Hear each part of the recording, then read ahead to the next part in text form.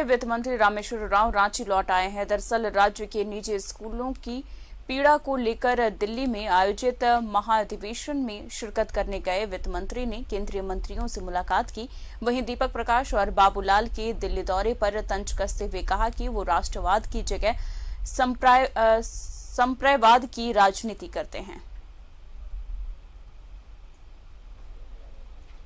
राष्ट्रवादी सांप्रदायिक संप्रदायवाद ये कहते हैं राष्ट्रवाद राष्ट्रवाद। राष्ट्र में तो सभी आ गए सभी जाति के लोग आ गए सभी धर्म के लोग आ गए लेकिन ये संप्रदायवाद संप्रदायवाद करते हैं। तो संप्रदायवाद करने वाले पार्टी का झारखंड में हासिल बहुत अच्छा की कोई नहीं। है यहाँ हर धर्म के लोग हैं, हर जाति के हैं। एस सी हैं एस टी हैं ओ बी सी हैं मुस्लिम हैं सभी तरह के। ये इनका जो है खोखला जो राष्ट्रवाद है असलियत में संप्रदायवाद है कम्युनलिज्म है तो यह सुधारने का कितनों से